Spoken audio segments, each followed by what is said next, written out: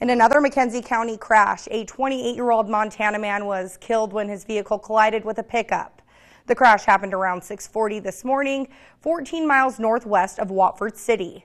Highway Patrol says the 28-year-old was heading west in a Kia Optima on County Road 10. The Kia crossed over into the eastbound lane. A Chevy Silverado driven by a 31-year-old Williston man swerved to avoid the Kia, but the Kia driver swerved at the same time, resulting in a collision. The, Montana's, the Montana man's vehicle went into the ditch and rolled. He was not wearing a seatbelt and was ejected. He was pronounced dead on the scene. The driver of the Silverado suffered minor injuries. Highway Patrol is still investigating.